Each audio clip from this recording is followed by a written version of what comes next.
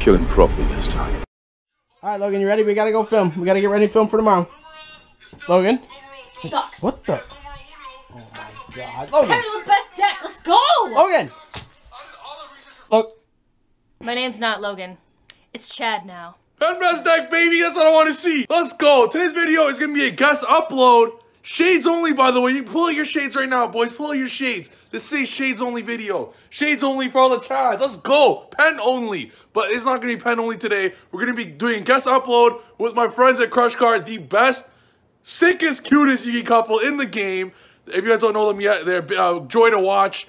New YouTubers, big fan of them. Go check them out down description below. They're going to be talking about the new, hot, hype deck of the meta that Pendulum destroys, but that destroys everything else. So go check it out right now. And before we get into the video, there's going to be a gigantic surprise. We are releasing a brand new playmat for one day only. It's my personal favorite playmat. They're going to talk about it. They got it themselves. It's a beautiful playmat right here. One day only in honor of Crush Cards. The same mat that I've given them as a gift a while back.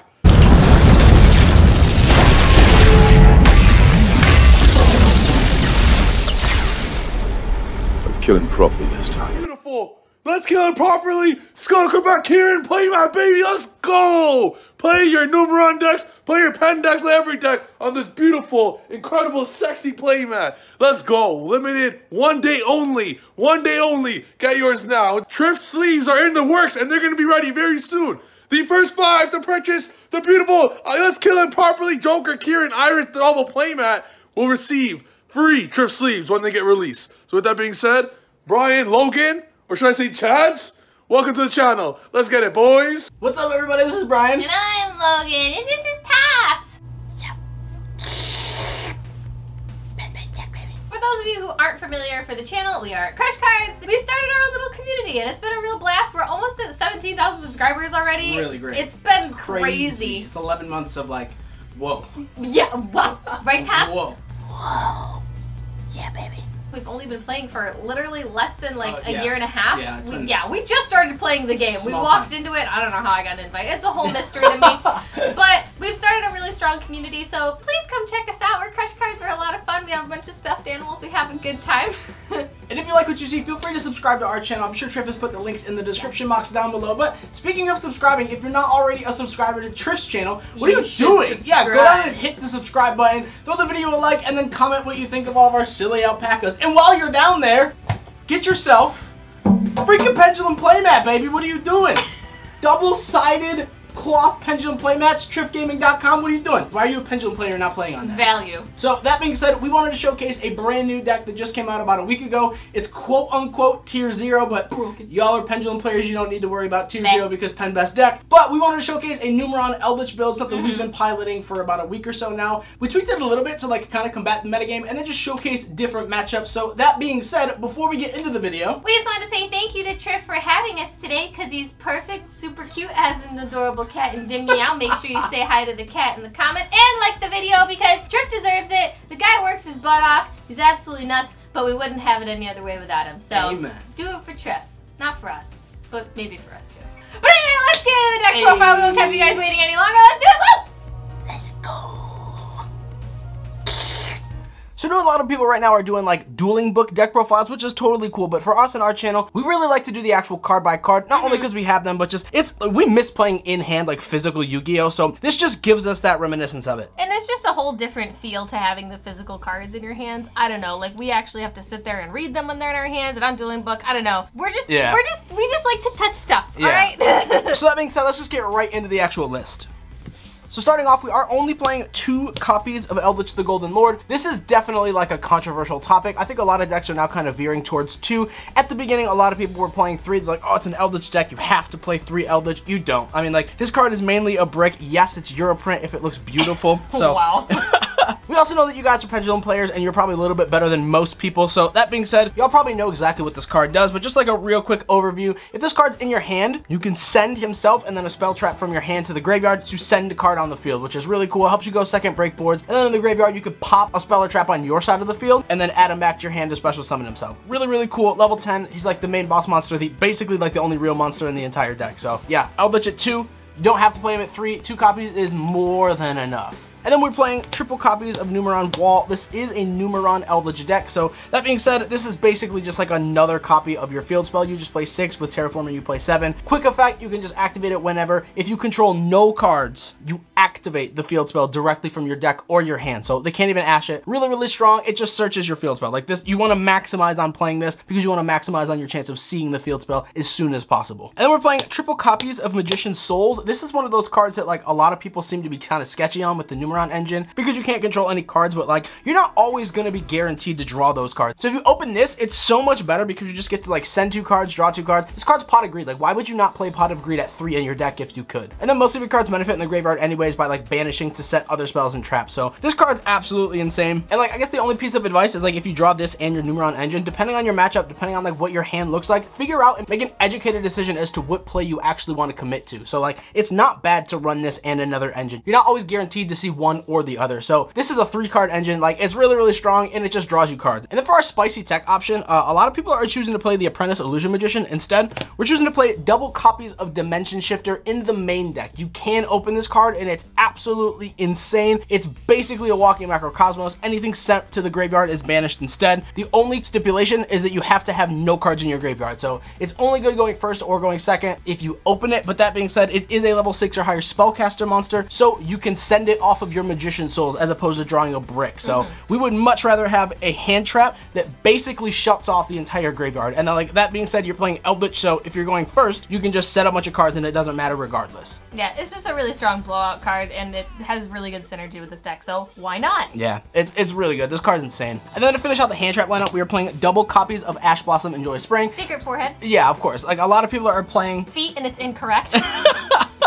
I think a lot of people are also playing hand traps to stop a deck like this. This is one of those like set pass decks, so it's really, really cool that you don't really like have to play a lot of hand traps. A lot of decks choose to, but you'll see why we're not. We're playing a bunch of different stuff instead to counteract the metagame and the mirror match because this deck is very, very interesting in the mirror match. So that being said, Double Ash, if y'all want to play three, go ahead, play three. We are playing in perm in the trap lineup, so like seven hand traps feels like more than enough. This deck is like interruption dot deck. So Double Ash, if you want to play three, play three, totally up to you. This is just the build that we've decided to go with. And then moving off for our spells, we are playing six field spells, three of which are the Numeron Network. This card is ridiculous. This card is basically a one card Zexal. So during your main phase, you can send one Numeron normal spell card that meets its activation requirement from your deck to the graveyard as cost. So once again, can't even ash it. It's like, it's absolutely nuts. And then this card becomes the effect that you sent. So what you're gonna send is your Numeron Calling. Calling says basically make Zexal for free. Y'all know exactly what the card does. Like this is so, so good. And in this deck that has a ton of room, we would rather play this as opposed to like 6,000 hand traps. You can play other cards, but like this engine plus the Eldlich spells and traps that just pop and DD Crow your opponent's cards. Like, it's just really good. Plus a searchable counter trap. Like, this deck is like an auto win. And then moving on to the other three field spells, we are playing the one copy of Terraforming because it searches you, your field spells. Uh, oh. What's coming? And then we're playing double copies of oh Mystic God. Mind in and the main deck. And that's where everyone clicks away. yeah, I mean, Mystic Mind's just such a strong card. It's one of those cards that, like, it forces an out from your opponent, and, like, even if you see it and you don't need it, it's cool, because, like, you can just send it off Magician Souls to draw more cards. It's really, really good, and, like, arguably, this is becoming a back row format. But that being said, there's still a ton of combo decks that do not main outs to this game one. So, like, this is an auto win game one, or if your opponent doesn't see it game one, it's an auto win game two and three. Like, you can side the third, you can take these out and play more hand traps, but in testing, main decking Mystic Mine is just unreal. Like it, it literally wins games on its own. And you have your own outs built in to just pop this and then overlay a network, or you can always just Conquistador your own Mystic Mine away. So whenever you want to get out of it to kill your opponent, you get to control the tempo of this game. That's why we're playing double copies because that's a tempo card. I love good music.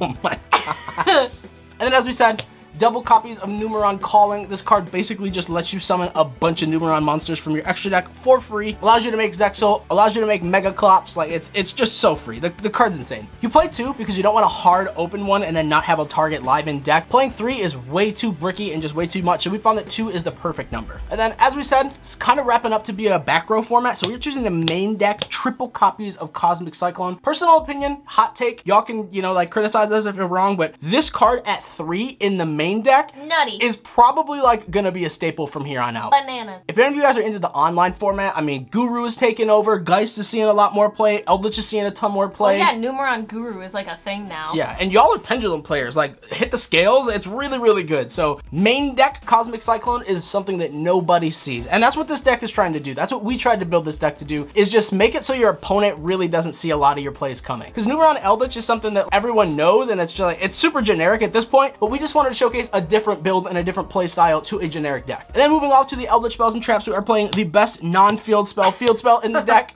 this card, like, it, it literally is a field spell. I have no idea how that's not a field spell. This card says pay 800 life points, search Eldlich or any golden land spell trap directly from your deck to your hand. It's really nutty. You get to search anything you need. Search your counter trap, search your pop, search your DD Crow, search your boss monster, like at the cost of 800 life points. It, it's nuts. It's, it's really, really good. And then, of course, if this card is sent from the field to the graveyard, you get to Foolish Burial any of your golden land spells and traps directly from your deck to the graveyard too, to banish to set more cards. It's just like, it's nutty. This card is super duper nutty. You can control whether this card gets popped or not. Like, you can pop your own cards to get more resources. And then we are playing the one copy of the in archetype Monster Reborn. For any of you guys who do not know how the Eldlixirs work, all the Eldlixirs banish to set golden lands, and all the golden lands banish to set Eldlixirs. The White Destiny just allows you to special summon one zombie monster from your hand or graveyard, but if you don't control Eldlich, you special summon Eldlich. The only monsters you're really playing in the deck are Eldlich, minus like your Numeron cards and your hand trap, so you want to just special summon Eldlich to make all of your back row live. And then of course, into the trap lineup, we are playing triple copies of Eldlixir of Scarlet Sanguine. This is obviously the best card in the deck. This card is a special summon from your deck or graveyard. Obviously, it's just for Eldlich. It specials Eldlich, it's chainable, it's it's just nutty. And then of course, it is an Elixir card, so you can banish it to set golden land spell traps directly from your deck. If you're ever playing against this deck and you have an Ash, this is the card. Like, Ash this card. And then moving off into the golden land spells and traps, we are playing triple copies of Conquistador. Conquistador is just your pop, non-targeting. It is destruction, but like, it's any face-up card on the field. It can be yours, it can be your opponent's. You can out your own stuff, you can out any problematic card that your opponent has. As long as you control Eldlich, this card not only becomes a monster, but just destroys any card on the field. And then being a golden land, it can banish itself in the graveyard to set Eldlixirs. If I didn't say it before, all of these cards have two effects. You can only activate one of which per turn. So if you activate this on your opponent's turn to like pop something, you can't banish it the same turn to set. You have to wait till your turn. So it's relatively fair, but like this deck is still meta. It's not fair. And then we are playing triple copies of Huaquero of the Golden Land. This is your in archetype DD Crow. If you control Eldlich, flip this, becomes a monster, and then you just banish any monster in either player's graveyard. So like this is really cool because if your opponent activates a card to search and you ash and then they try to call by, you can chain this, banish your own ash, therefore the call by misses the timing. Whoa. It's really, yeah, I mean, it's super cool. Like, Great. these cards are such utility in this deck. And then, Searchable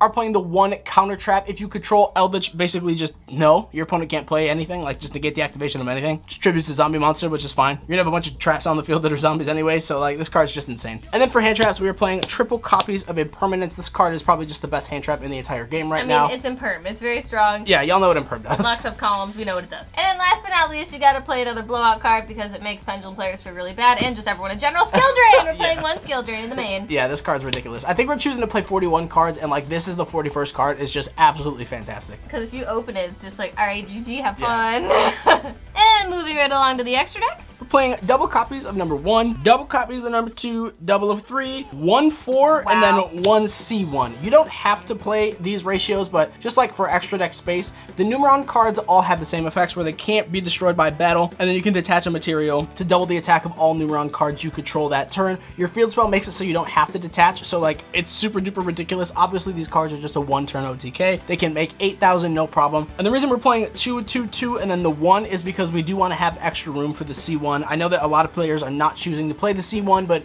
it's come up multiple games in testing. A lot of boards that you can't out, you just Numeron calling out a couple of them, and then you just slap this on top of C1, banish the entire field. Like it's so good. Clears boards, does burn damage, and then because you're playing a trap deck, it's a little bit slower. Your opponent committed a ton of resources to their board. You've got a whole set of back row, and then you can just play for free. Like it's it's really really fun. Super interactive. Sounds like a good time. And then speaking of interactive and fun, playing the one copy with Zexal. Wow. And you guys thought Mystic Mine was bad? Well, bam. Here's Yeah. just don't play the turn. Yeah, this card is really unfair. This card needs to be banned. That's the reason we're showcasing this deck, is just so you guys know how to play this deck and or play around this deck. It is really strong and it is relatively unfair. So we just want to showcase the cards and what they do. Zexal says your opponent can't play on their turn. Literally, it says skip your opponent's turn. It's funny because all this time Zexal has been such a like pain card to get out at all because it has such specific stipulations. But then they released the Numeron engine and they were like, ha ha ha, we've been waiting all this time. Here's we go. Let's stir up the meta pot. And then here we go. So, yeah. Yeah, this card's unfair. This should be banned. And then rounding out for our XZs, we are playing the one Gustav Max and then the one Juggernaut Lieb. These are just really awesome train cards, two level 10s. For this guy, you could obviously burn, you could slap this on, make it 6k, attack everything your opponent controls. Like, this is your conductor. And then like a real big shout out to Konami for giving us the matching ultra rare as the Lost Art. Super cool, it looks really good. So nice. They just look really good next to each other. Big guns. Am I right? You pen players. You lift stuff, don't you?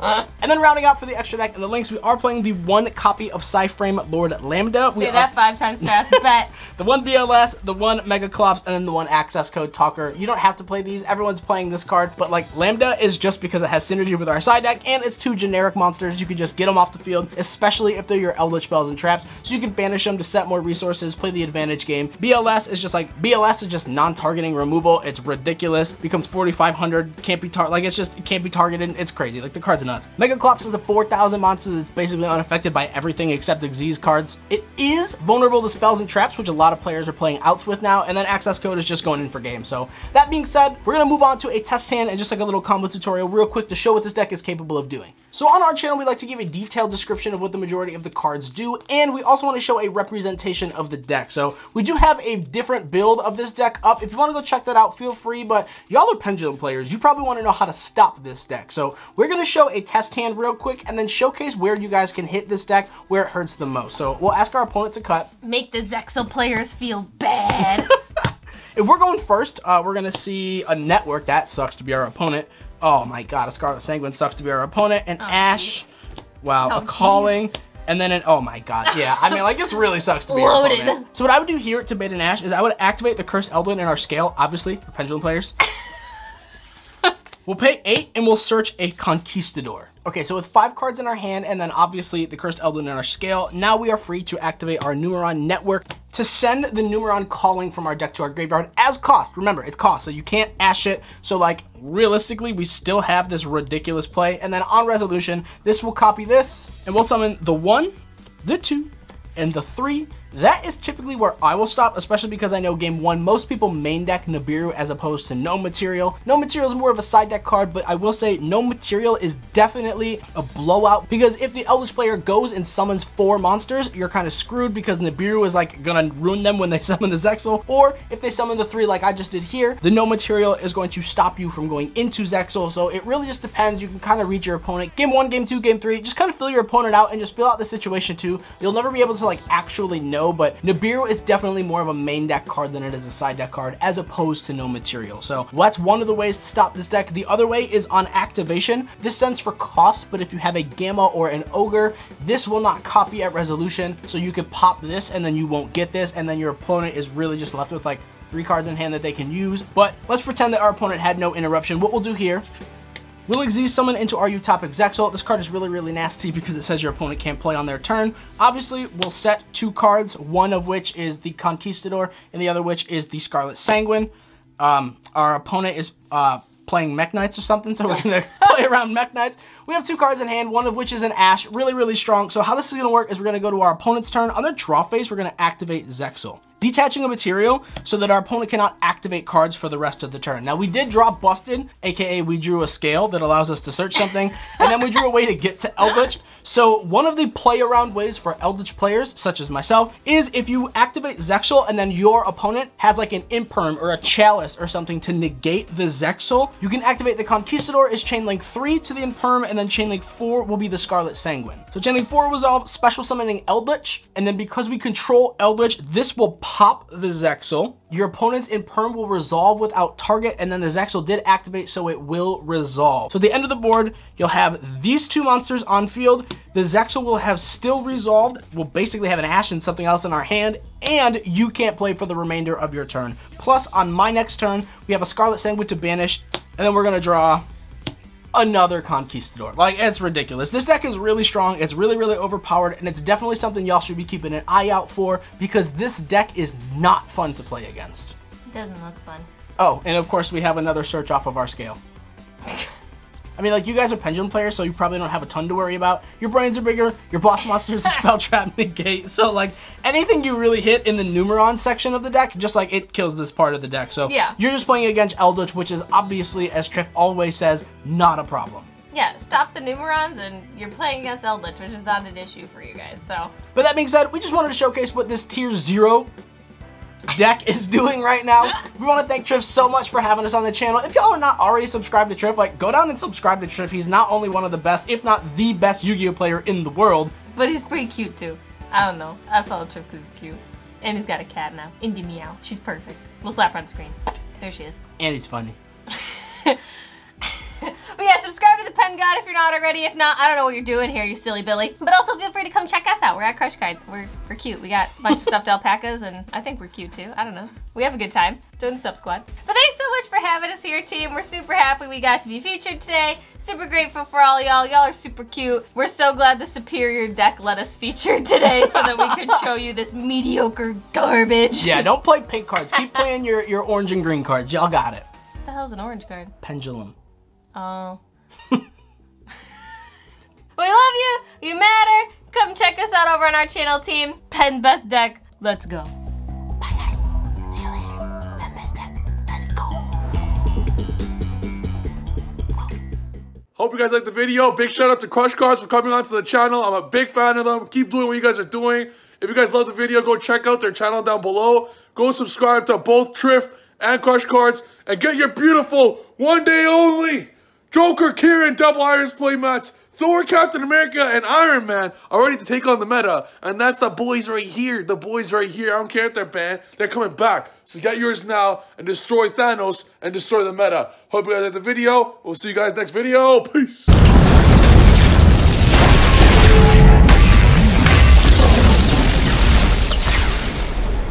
Let's kill him properly this time.